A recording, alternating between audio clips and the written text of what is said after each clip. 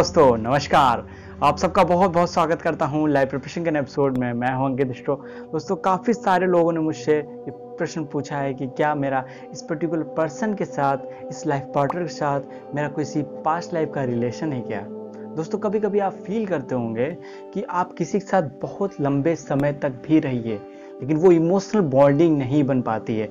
लेकिन आप किसी से मिलते हैं तो जिस just one second two second आपको फील होगा कि मैं इस पर्सन को बहुत पहले से जानता हूँ। ये कैसे होता है दोस्तों?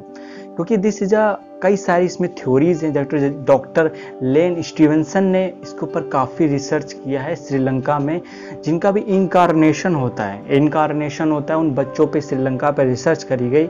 जिनको भी पास्ट लाइफ याद आया, वो सब इन चीज़ों को बताया। और इनके पीछे काफ़ी लंबा साइंस है। हम हॉरोस्कोप की सहायता से भी जान सकते हैं कि हम कैसे पहचान सकते हैं उस व्यक्ति को कि मेरा इस पर्टिकुलर पर्सन के साथ कोई पास्ट लाइफ कनेक्शन था। दोस्तों, मैं बहुत आसान लैंग्वेज में बताऊँगा और एस्ट्रोलॉजी में कई सारे गुड़ा गणित होते हैं। मैं कोशिश करूँगा कि आपके दो तीन प्लैनेट्स की मदद से आपको ये बता सकूँ, लेकिन कंप्लीट एनालिसिस दोस्तों ज़रूरी होगा। ये बस एक पॉइंट ऑफ़ व्यू है आप इसको देखिए और एक तरह से आपका एक रिज़ल्ट आ जाएगा। आप बहुत आसानी से समझ सकते हैं। दोस्तों, आपके हॉरोस्कोप में वैदिक एस्ट्रोलॉजी के अंदर केतु ग्रह देखना अति महत्वपूर्ण है। पास्ट लाइफ को देखने के लिए, आपके पूर्व जन्म के संबंधों को देखने के लिए। दोस्तों, केतु हमारे पास्ट लाइफ के डीट्स को प्रारब्ध को रिप्रेजेंट करता है, दर्शाता है। साथ ही हमको देखना है नवमास कुंडली। जहाँ तक कि हम रिलेशनशिप की बात कर रहे हैं अपने लाइफ पार्टनर के साथ तो वो कैसा होगा, कोई पर्टिकुलर पर्सन का साथ तो उसमें नवमास कुंडली बहुत ज़रूरी हो जाती है देखना, क्योंकि वो डीप एनालाइज बताती है। वो ग्रहों की ट्रू स्ट्रेंथ बताती है, वो दर्शाती है कि हमारे जीवन का थर्टी के बाद हमारा जीवन कैसा होगा। दोस्तों, उसके साथ ही हमको देखना है डी सिक्सटी चार्ट क्योंकि वो भी कहीं ना कहीं आपकी ग्रहों की ओरिजिनल स्ट्रेंथ दिखाती है। तो ये आपको देखना है। पहले हम बताते हैं कि केतु कैसे देखना है। आप किसी भी सॉफ्टवेयर से हॉरोस्कोप बना लीजिए। सिंपल है, और वहाँ पे देखना है आपका केतु किस नंबर में बैठा है, किस पोजीशन पे बैठा है। या आपके बारह घर हो गए, यहाँ पे one, two, three, four, five, six, seven, यहाँ पे कहाँ पे केतु बैठा है? केतु जहाँ पे बैठा होगा, उस पर्टिकुलर हाउस से रिलेटेड अनफुलफिलमेंट डिज़ायर एक इच्छा, अतृप्त इच्छा, क्योंकि आपका असेंडेंट लॉर्ड जो होगा, वो दर्शाता है कि वो डिज़ायर जो आप पूरा नहीं कर पाए, क्योंकि जो आपको इच्छा होती है, इसीलिए ही जन्म होता है आपका। मतलब कोई डिज़ायर जो उसको पूरा नहीं कर पाए, वो डिज़ायर मान लीजिए एक नंबर है, जो लोग अपने ऊपर ध्यान नहीं दे पा रहे हैं लाइक जो उन्होंने पूरी ज़िंदगी दूसरों को दिया, ना, वो अपने ऊपर ध्यान नहीं दे पाए तो वो मेष लगन के होंगे। तो मेष लगन वन नंबर के यहाँ पे लिखा होगा लगन में तो वो इस जन्म में अपने ऊपर ज़्यादा ध्यान दे पाएँगे, वो डिज़ायर एंड टाइम में। तो वो आपको देखना है कि आपका असेंडेंट लॉर्ड कौन सा है, वो डिज़ायर कौन सी है? फ़र्स्ट थिंग इज़ डैट वही देखना है कि नौमांस कुंडली में असेंडेंट लॉर्ड कौन है? क्योंकि हर एक लग्न की, हर एक राशि की एक कैरेक्टरिस्टिक होगी, एक उसका गुण होगा, एक व्यक्तित्व का। तो आपका रिलेशन कैसे देख सकते हैं? आप देखिए अपनी नौमांस कुंडली में केतु की पोजीशन क्या है? मैं एक से लेकर बारह तक की बताऊँगा। उसमें केतु आपका कहाँ पे स्थित है, कहाँ पे बैठा हुआ है? मान ली फ़र्स्ट सेकेंड थर्ड इस तरह से आप देख सकते हैं। अगर फ़र्स्ट हाउस में बैठा हुआ है डेट मीन्स का आपका रिलेशनशिप जो रहा है, आपका जो रिश्ता लाइफ पार्टनर के साथ रहा है, वो कहीं ना कहीं उसमें बहुत ही गैपिंग रही है, दूरियाँ रही है। तो आपके अंदर ये डिज़ायर है कि मैं उसको अच्छे से पा पाऊँ, अपनी बातें कह पाऊँ, अपने आप को ज़ाहिर कर पाऊँ, क्योंकि फ़र्स्ट हाउस आपको ही रिप्रेजेंट करता है। इसीलिए केतु यहाँ बैठने पे इस तरह के रिज़ल्ट देता है।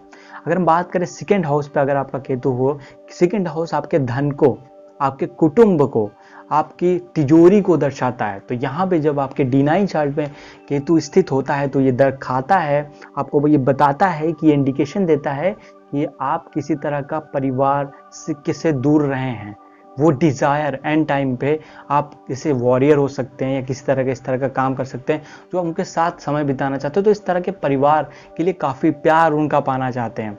तो अगर थर्ड हाउस में इसी तरह करेज आप मतलब कि हिम्मत दिखाना चाहते हैं तो दिखा नहीं पाए। लाइक इस तरह के छोटे भाई बहनों के साथ रहना चाहते तो तो रह नहीं पाए। वो उसकी वजह से किसी तरीके के आपके ट्विन फ्लेम रिलेशन या सोलमेट का रिलेशन क्योंकि यहाँ पे तीन तरह के जो रिलेशनशिप होते हैं लाइक सोलमेट का रिलेशनशिप हो गया, आपका ट्विन फ्लेम का रिलेशनशिप हो गया, और आपका किसी तरह का कार्मिक अकाउंट हो गया। वो भी देख सकते हैं क्योंकि केतु दर्शाता है कि आपकी वो डिज़ायर जो पूरी नहीं हो पाई, क्योंकि अगर मान लीजिए आपके फोर्थ हाउस में बैठा है मान लीजिए बिकॉज़ ऑफ़ मदर मान ली मदर ने आपकी किसी जगह शादी करा दी, या मदर आपकी लाइफ में उतना उनका रोल नहीं रहा, तब आपको फील ये लगेगा पास्ट लाइफ में कि वो जो उस वजह से हुआ तो वो डिज़ायर वो जैसे कि मदर की सारी बातें मानना, वो प्यार जो आपको माँ का प्यार नहीं मिल पाया था लाइक इस तरह से आपके अंदर वो फीलिंग्स रहेगी, वो डिज़ायर रहेगा।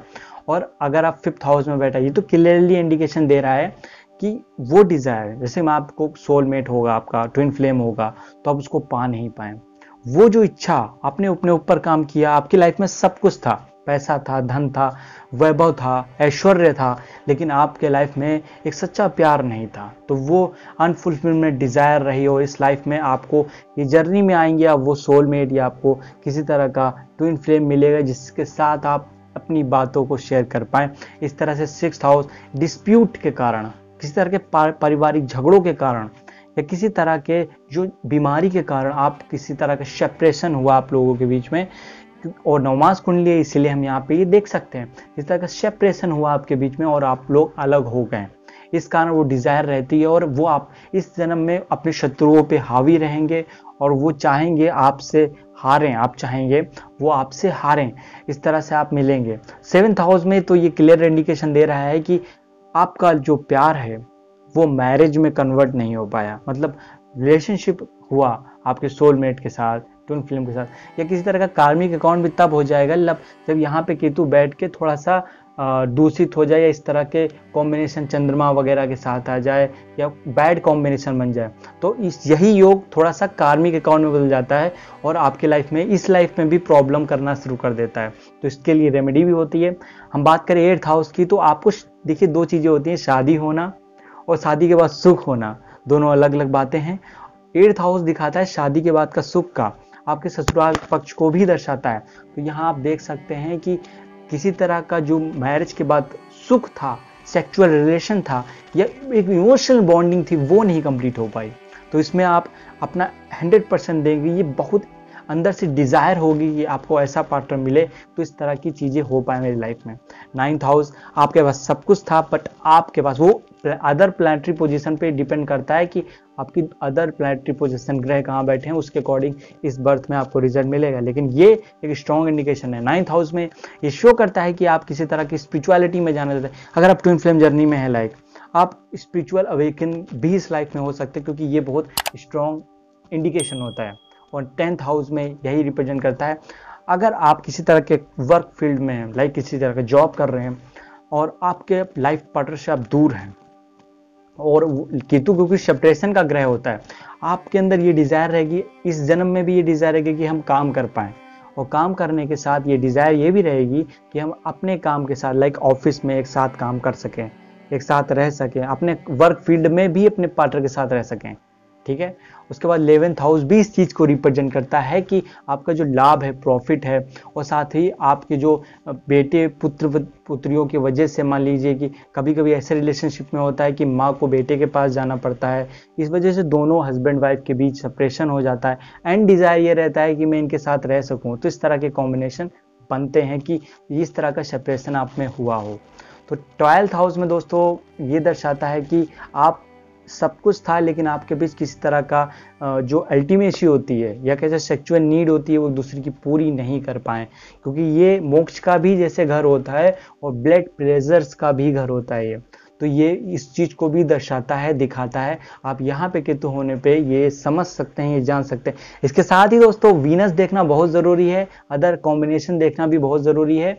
लेकिन ये देख के आप क्लियरली ये जान सकते हैं कि मेरा जो पास्ट लाइफ में अनफुलमेंट डिज़ायर थी, मेरी इच्छा थी, जो कि ट्विन फ्लेम या सोलमेट को लेके थी, वो कैसी थी और मैं किस लिए इस तरह का आज फील कर रहा हूँ।